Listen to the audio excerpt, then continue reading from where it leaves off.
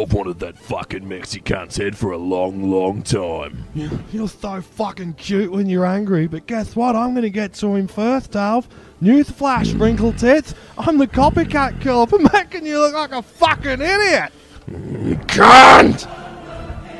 That's the spirit, delicious dick. You wanna find Sancho?